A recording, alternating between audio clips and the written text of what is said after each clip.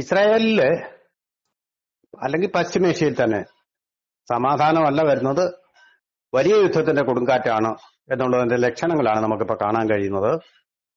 ഇസ്രായേലിന്റെ പ്രധാനമന്ത്രി Benjamin Netanyahu ഇപ്പൊ പറഞ്ഞിരിക്കുന്നത് ലബനന് എതിരെ ഇപ്പോ ഗാസയിൽ നടന്നതുപോലെ അല്ലെങ്കിൽ മുമ്പ് ഗാസയിൽ പൂർത്തിയാക്കിയതുപോലെ വളരെ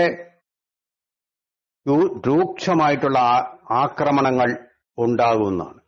കാരണം ഇപ്പൊ തന്നെ നടക്കുന്നത് വളരെ രൂക്ഷമായിട്ടുള്ള ആക്രമണങ്ങളാണ്. ഇസ്രായേലിന്റെ മുന്നേറ്റങ്ങളാണ്.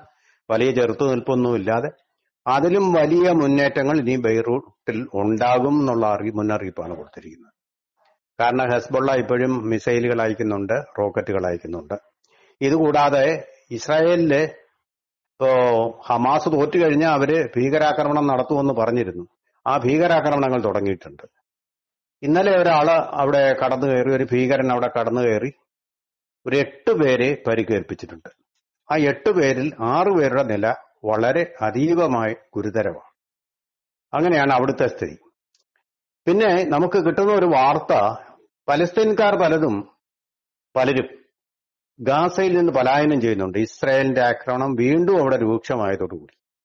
ആ ആക്രമണം രൂക്ഷമായതിന്റെ കാരണം ഈ ഭീകരാക്രമണമാണ്. ഹമാസ് അവിടെ തോറ്റു കഴിയുമ്പോൾ അവർ ഭീകരാക്രമണത്തിലേക്ക് തിരിയും പാകിസ്ഥാൻ ചെയ്തതുപോലെ. ആ ഭീകരാക്രമണത്തിൽ ഉണ്ടായ പരിക്കിന്റെ പ്രതികാരമാണ് ഇപ്പോ ഇസ്രായേൽ അവിടെ നിർവഹിച്ചുകൊണ്ടിരിക്കുന്നത്. അതിരൂക്ഷമായിട്ടുള്ള ആക്രമണങ്ങൾ അവിടെ നടത്തിക്കൊണ്ടിരിക്കുക അവിടെ ഇങ്ങനെ നടത്തുമ്പോൾ പാലസ്തീൻകാരെ രക്ഷപ്പെടുന്നത് എങ്ങനെയാണെന്നറിയോ പാലസ്തീൻകാർ പിടിക്കുന്നത് ഇന്ത്യയുടെ പതാകയാണ്. ഇന്ത്യൻ പതാക അവർ കൃത്രിമമായിട്ട് നിർമ്മിച്ചിട്ട് ഇന്ത്യൻ പതാകയും പിടിച്ചുകൊണ്ടാണ് അവർ ഇവിടുന്ന് രക്ഷപ്പെടുന്നതെന്നാണ് ഏറ്റവും പുതിയ വാർത്ത. അപ്പൊ ഇന്ത്യൻ പതാക കാണുമ്പോൾ ഇന്ത്യ ഇപ്പോൾ ഇസ്രായേലിന്റെ ശത്രുക്കളല്ല. അതുകൊണ്ട് അവരെ വെറുതെ വിടും. അങ്ങനെ അവർ രക്ഷ പ്രാപിച്ചുകൊണ്ടിരിക്കുന്നു എന്നുള്ള വാർത്തകളും വരുന്നുണ്ട്. പിന്നെ ഈ ചർച്ചയ്ക്കുള്ള സാധ്യതകളൊന്നും ഇപ്പോൾ ഉടനെ കാണാനില്ല. ഇറാൻ ഇപ്പോൾ ഒന്നും മിണ്ടുന്നില്ലെന്നുള്ളത് മാത്രമേ ഉള്ളൂ. ഹൂത്തികളെ ഒരു വിധത്തിൽ ബ്രിട്ടനും അമേരിക്കയും ചേർന്ന് ഒതുക്കിക്കൊണ്ടിരിക്കുന്നുണ്ട്. യുദ്ധം പഴയപടി തന്നെ. ഇസ്രായേൽ വിജയിച്ചു കഴിഞ്ഞു. പക്ഷെ അവർ നിർത്തുവാൻ ഭാവമില്ല കാരണം ഒരു വശത്തുകൂടി ഭീകരാക്രമണങ്ങൾ നടത്തിക്കൊണ്ടിരിക്കുക അപ്പൊ അതുകൊണ്ട് ശാശ്വതമായിട്ടൊരു സമാധാനം ഉണ്ടായിട്ടില്ല. എനിക്ക് തോന്നുന്നത് ലിബൻ ലബനനിൽ കുറെ കൂടി മുന്നേറി ഈ ഹസ്ബള്ളയുടെയും ശക്തി ഹമാസിന്റേത് ഇല്ലാതാക്കിയതുപോലെ അവർ ഇല്ലാതാക്കും എന്ന് തന്നെയാണ് കരുതേണ്ടത്. അതിന് ഉള്ള ഒരു പുറപ്പാടാണ്. അല്ല ജോ ബൈഡൻ കരുതുന്നത് പോലെ ഒരു ആസൂത്രണമില്ലാത്ത യുദ്ധമല്ല. എന്തെങ്കിലും കണ്ടുകൊണ്ടായിരിക്കും അവരുടെ യുദ്ധകാല മന്ത്രിസഭ യോഗ തീരുമാനങ്ങൾ എടുക്കുന്നത് അതിന് മിടുക്കരായിട്ടുള്ള ആൾക്കാരാണ് അവിടെ ഇരിക്കുന്നത്. പിന്നെ ഈ പേജർ സ്ഫോടനം അങ്ങനെയുള്ള സ്ഫോടനങ്ങളൊന്നും വന്നിട്ടില്ല ഇപ്പോ പക്ഷെ നേരിട്ടുള്ള ആക്രമണമാണ്. നേരിട്ടുള്ള ഒരു ആക്രമണത്തിന് വഴിയൊരുക്കാൻ വേണ്ടിയിട്ടാണ് നേരത്തെ ഈ പേജർ സ്ഫോടനവും അതുപോലെ ഡ്രോണുകൾ ഉപയോഗിച്ചുള്ള ഫൈറ്റ് നടത്തിയത്. അന്തരീക്ഷം സൃഷ്ടിക്കാൻ അല്ലെങ്കിൽ നേരിട്ട് എതിർത്ത് കഴിഞ്ഞാൽ ഇസ്രായേലി പട്ടാളത്തിന്റെ മരണനിരക്ക് ഇതിലും വളരെ മടങ്ങായിരുന്നേനെ അത് ഒഴിവാക്കിക്കൊണ്ട് ഇപ്പൊ ഇസ്രായേലി ഭാഗത്തു നിന്നുള്ള കാഷ്വാലിറ്റി എന്ന് പറയുന്നത് അല്ലെങ്കിൽ മരണനിരക്ക് എന്ന് പറയുന്നത് വളരെ കുറവാണ്. അവർക്ക് അധികം പേരെ കൊല്ലാതെ രക്തസാക്ഷികളാക്കാതെ തന്നെ മുന്നോട്ട് പോകാൻ കഴിയുന്നുണ്ട് ഇപ്പോൾ അത് വളരെ രൂക്ഷമാക്കുമെന്ന് തന്നെയാണ് പറഞ്ഞിരിക്കുന്നത്. അവർക്ക് പേടിയില്ല. സിറിയക്കാർ ഡമാസ്കസിനെ ആക്രമിച്ചു. ഒരു പ്രതികരണവും ഉണ്ടായിട്ടില്ല ഇതുവരെ. പിന്നെ ഇതുപോലുള്ള ഭീകരാക്രമണങ്ങൾ ഇപ്പോഴും വരുന്നുണ്ട്. അതുപോലെ തന്നെ ഇസ്രായേലിൽ കണ്ടതായിട്ട് പറയുന്നത് ഒരു കാർ ബോംബ് കൊണ്ട് തകർന്ന ഒരു കാർ ഇസ്രായേലിനകത്ത് അപ്പൊ ബോംബും വർഷിക്കുന്നുണ്ട്. ബോംബ് എന്ന് പറഞ്ഞാൽ ചെറിയ ബോംബുകളാവും. ഒരാൾക്ക് തന്നെ കൊണ്ടുപോകാവുന്ന ബോംബുകളുണ്ട്.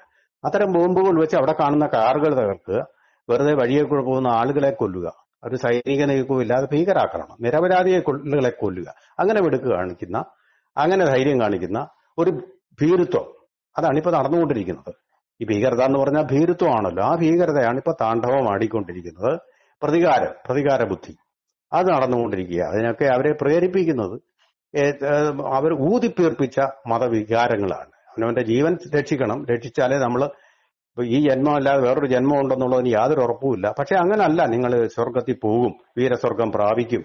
അങ്ങനെ സുഖമായിട്ട് തന്നെ കഴിയാം എന്നൊക്കെയുള്ള വീരസ്വർഗം നിങ്ങൾ പ്രാപിക്കും എന്നുള്ളൊരു വിശ്വാസത്തോടു കൂടി ആരോ അവരെ തെറ്റിദ്ധരിപ്പിച്ച് ആ അന്ധവിശ്വാസ അന്ധവിശ്വാസത്തിന് പ്രേരിതരാക്കി കൊണ്ടുപോവുകയാണ്. ലോകത്തിലെ ഏറ്റവും വലിയ അന്ധവിശ്വാസം അതാണ്. നിങ്ങൾ മറ്റൊരു മതത്തിൽപ്പെട്ട ആളെ കൊന്നു കഴിഞ്ഞാൽ നിങ്ങൾക്ക് വീരസ്വർഗം പ്രാപിക്കാം എന്നുള്ള വിഡിത്തം. അതിൽ കൂടിയ വലിയൊരു അന്ധവിശ്വാസം ലോകത്തെങ്ങുമില്ല അത്തരം ഒരു അന്ധവിശ്വാസവും പേറിക്കൊണ്ട് നടക്കുകയാണ്. അങ്ങനെയുള്ള ആൾക്കാരെ അങ്ങനെ പ്രേരിതരായിട്ട് നടക്കുന്ന ഈ ഭീകരാക്രമണങ്ങൾ തുടർന്നുകൊണ്ടിരിക്കുന്നു. അപ്പോൾ അത് മാത്രമേ അത് നമുക്കൊന്നും ചെയ്യാൻ പറ്റാത്ത ഒരു കാര്യമാണ് ആ ഭീകരാക്രമണങ്ങൾ നടന്നുകൊണ്ടിരിക്കുകയാണ്. അതിന് വരുന്ന ഫണ്ട് അങ്ങനെയുള്ള കാര്യങ്ങൾ മാത്രം ഒഴിവാക്കുക. അതിനാണ് പറഞ്ഞത് ലോകമാസകലം അതിനെക്കുറിച്ചൊരു അവബോധം ഉണ്ടായി ലോകത്തിലെ രാജ്യങ്ങളെല്ലാം കൂടി ഏത് മതരാജ്യമാണെന്നോ നോക്കാതെ ഇസ്ലാമിക രാജ്യമാണെന്നോ ക്രിസ്ത്യൻ രാജ്യമാണെന്നോ അതല്ല ഒരു ഇതൊന്നും അല്ലാത്ത ഒരു രാജ്യമാണോ സെമറ്റിക് മതങ്ങൾ ഇല്ലാത്ത ഒരു രാജ്യമെന്നോ നോക്കാതെ എല്ലാ രാജ്യങ്ങളും ഈ ഭീകരതയ്ക്കെതിരെ നിഷ്ഠുരമായ നിരപരാധികളെ കൊല്ലുന്ന ഈ ഭീകരതയ്ക്കെതിരെയുള്ള ഒരു കൂട്ടുകെട്ടുണ്ടെങ്കിൽ മാത്രമേ യുദ്ധങ്ങളുടെയും ഈ ഹിംസയുടെയും ഒക്കെ അടിവേരർത്തുകൊണ്ട് ലോകത്തിൽ ശാശ്വതമായിട്ടുള്ള സമാധാനം സ്ഥാപിക്കാൻ പറ്റുകയുള്ളൂ. അതുപോലെ മാർപ്പാപ്പ വളരെ രൂക്ഷമായിട്ടുള്ളൊരു വിമർശനം ഉയർത്തിയിരിക്കുന്നത് അത് എല്ലാവരും ശ്രദ്ധിക്കേണ്ട ഒരു കാര്യമാണ്. ഈ വലിയ രാഷ്ട്രങ്ങളെ നമ്മുടെ ഈ അമേരിക്ക അതുപോലുള്ള രാഷ്ട്രങ്ങളെ ബ്രിട്ടൻ അതുപോലുള്ള രാഷ്ട്രങ്ങളെ അദ്ദേഹം വളരെ രൂക്ഷമായ ഭാഷയിൽ വിമർശിച്ചിരിക്കുക ഈ വലിയ രാജ്യങ്ങൾ രാഷ്ട്രങ്ങൾ എന്ത് ചെയ്യുക?